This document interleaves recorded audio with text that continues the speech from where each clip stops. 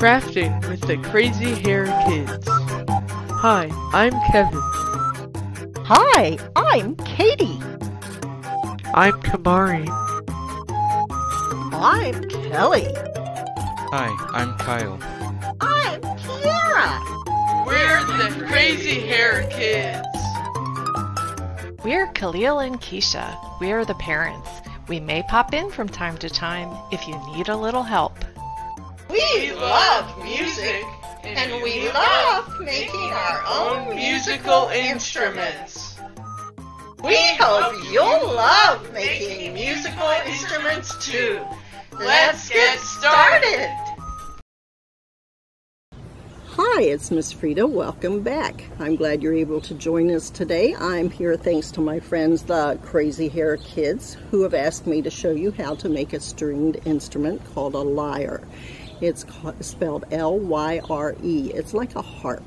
In the Bible, David was a shepherd boy, and as he sat out watching his flocks at night, he liked to sing, and they tell us in the Bible he would play his lyre or his harp. And even when he got older, when he worked with King Saul and was his assistant, he would, they say in the Bible that King Saul would get awful headaches or he'd get very upset. And David would calm him by stringing his, strumming his lyre, kind of like you would a guitar, and singing to him. And even as a king, he still liked to write poetry, write songs, and still play his musical instrument. So what we're going to do is make something similar today. What you're going to need is an empty box or shoebox. Today I brought along, this used to be pasta and this had dry milk powders, but I also have a shoebox, but I'm going to show you how to use these. You want to cut a hole in the middle. Let me show you one that I've already finished. See how you cut a hole in the middle like a guitar. What this does is allow the sound inside to echo. Kind of if you're standing on a mountaintop near a canyon and you yell, hello, hello, hello, hello, it echoes back. It reverberates and that's what causes a better sound. So we're going to work toward making that. Now I've started today with this wonderful little box that had pasta in it. This is easy because it already has an opening. I'm make sure I open that just a little bit more, and it's not enough to help. So I'm going to use my scissors and cut the hole larger. It doesn't have to be oval, it doesn't have to be square. It's whatever size you like. If you have difficulty cutting, if your box is a little bit stronger than this one or it's harder to cut, that's where you might ask, ta-da, mom and dad to come help you just a little bit or your grandmom or an older brother or sister. So I'm going to cut this around to make the opening. And as is, if I just left it like this, that would be fine. It wouldn't make some really cool noise. But suppose I really wanted to look a little bit better. I'm going to now, thanks mom, thanks dad for coming to help, so they're going to wait in case I need them later. I'm going to move aside some of my utensils, and in fact, since I use this just as a demonstration to show you different boxes you can use, I'm going to put that aside, and I'm going to use just this one box. I've decided I'd like to cover this box so it doesn't quite just look like this. I want it to look better. I have construction paper. Or you can use gift wrapping paper if you've got something really cool around the house. This is what I had. That would look really good. But I think I'm going to start today with just using construction paper. To do this, I'm going to lay my box down against the paper, see? And I'm going to fold the paper to see how much I can cover. And once I've got it like this, I'm going to try to get it to stick by doing this. If you've got your glue sticks, get those out now. We're going to get the glue sticks. There we go. And get your glue to the end. This one I may need a second because this one's not very full. And I'm going to put glue on my construction paper. Kind of all around. It doesn't have to be every inch. You just want it to make sure it's covering mostly the edges. So I can make my box. I want this to fit on my box. So let's see how we're doing. Once I get the glue on there, I'll press it onto my box. It helps sometimes you just kind of let it rest for a little bit for the glue to stick. And since this didn't cover my entire box, I'm going to need another piece of construction paper. So I'll start there and put a fold in it. This is covering the top. Notice I'm covering the part that I've already cut the hole out, and there's a reason for that. Because I want to decorate it, and it's easier to cut it and then start over. So I'm going to fit this to my box a little bit. Back to my glue stick. And again, I'm going to put my glue, rub my glue stick all over this construction paper so that it'll stick better. Again, you don't have to hit every single part, just primarily the edges. There we go. Then I'm going to overlap like this. But you know, while it looks good this way, look at those crazy ends. Hmm, very funny. I'm going to trim my ends a little bit. And that'll take a little bit of work. Or you can just cut the corners on all four corners. Yeah, whoops, sorry about that. Didn't mean to knock you over. Um, anyway, I'm going to go ahead and cut all four corners. See how I'm doing this? Now once I cut all four corners, I'm going to fold this in. Just so I, first I'm folding it in to make sure I've got everything covered. Whoopsie, there's my second piece. And I can do one of two things. I can either cut more construction paper to fit there, or where did I put my tape? Voila, tape. I'm going to go ahead, in this case, and tape all of the edges closed. There's a reason why I'm going to do this, but still leave part of the box. See, you still see part of the box? I can hear that bird likes to sing while I'm doing this too. You probably heard a bird. By the way, this is a good time to remind you, if you're crafting outside, make sure you keep a nice cold drink like a glass of water. Mmm or something so you can stay hydrated, especially when it's really warm in the summertime like it has been the past few days. So I'm going to fold over all my edges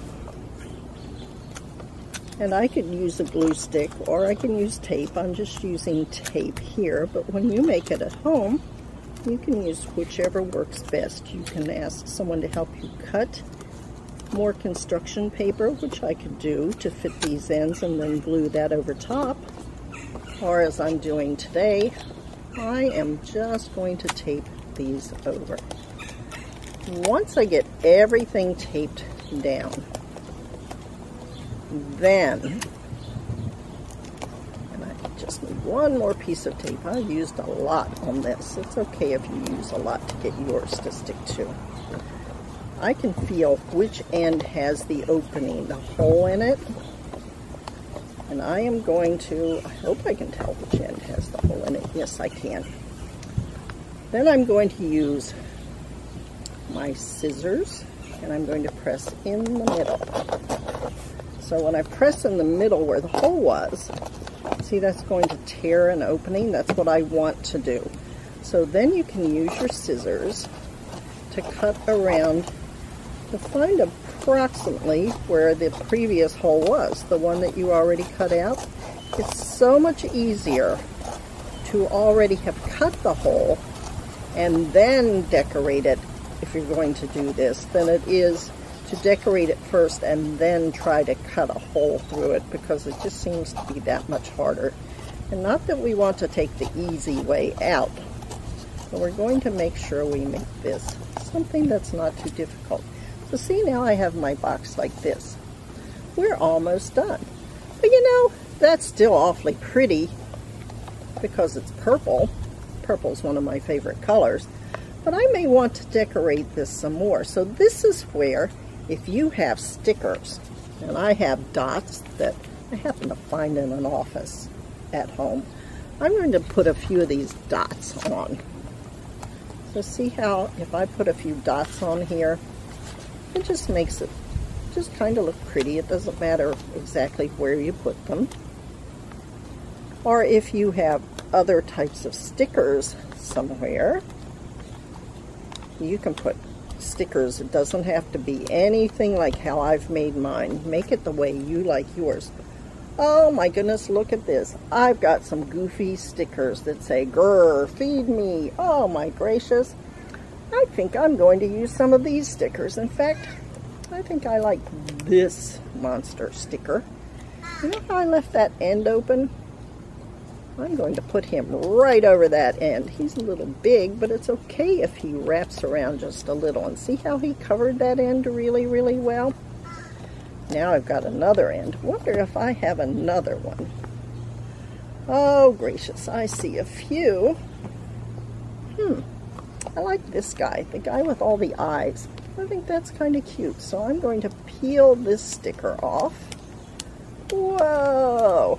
And I know he's big for this end. I'm just going to put him right over top. And even though his arms and his eyes and his legs and his ears, I think those are ears, go over the edge. That's okay. I'm going to do that as well. Okay. I'm going to put a few other little stickers on the side. Oh, look, he's got an extra eyeball. I think that's a good spot for an eyeball, don't you? Oh, and here's the one that says, feed me. I'll put feed me right there because he seems that he's always hungry. Oh my goodness. One of my little friends decided that it's breezy out here and he was going to run off. But nope, we're going to come back and watch the rest of our lessons. So we're going to put a few stickers on this side. Whoops, dropped my stickers. Here's one that just says grr. Grr is a good one to put on this side. You can color yours, you can tape all kinds of crazy stickers. You can do all kinds of different things to make it your own. So now we get to the fun part. Rubber bands. I have all kinds of rubber bands here. I need one that fits. Ah, that one fits. So let's see if, oh, I've got, ooh, nope, too small. Can't use that one.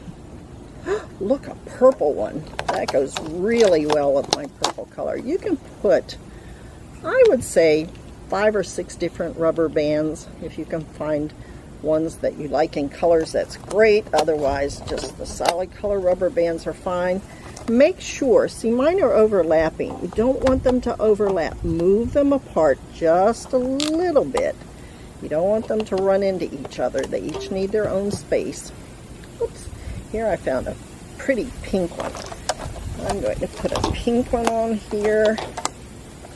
And just because I have different colors, that green one looks nice too. I'm putting five on mine. Maybe I'll put six. I like six. Six is a good number. Ooh, because I found a blue one. I think I'll put a blue one on here. Okay, so my musical stringed instrument now has six different rubber bands. Let's see how they sound if I were to play these one at a time.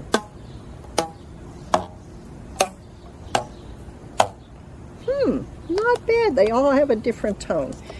Here's something I discovered. Listen to this blue one. If I pull it really tight, it changes the sound. Wow!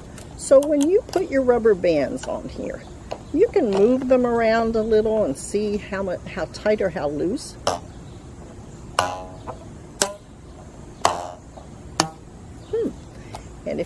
Like the sound of one, if it's too deep, tighten it. If it's too high, then loosen it some in the front. Well, those sound pretty good, but here's another secret that makes it sound even better. you need two pencils. I have crazy colored pencils. I guess because I got them from the Crazy Hair Kids and they have different colored pencils. You want to slip your pencil underneath your rubber bands. That raises them up a little. Do it on each end. See I'm doing this underneath and then I'm rolling it down to this end. And then that keeps these a little higher. And let's listen. That changes the sound even more. And because they have the open box in behind, the open box is going to sound more like an echo and make it louder. So just as King David would sit and play his lyre so that he could calm the sheep and come up with songs and poems, you can do the same thing with yours. Now remember, David was first a shepherd boy. He then defeated Goliath, as you learned in your lesson, and later he became a great king. And all through that, he continued to love and play music. So, thank you for joining us today, and I hope you'll greet us again in the future and join with us to make our next craft. Bye-bye. All right. Thank you for joining us today. Bye-bye.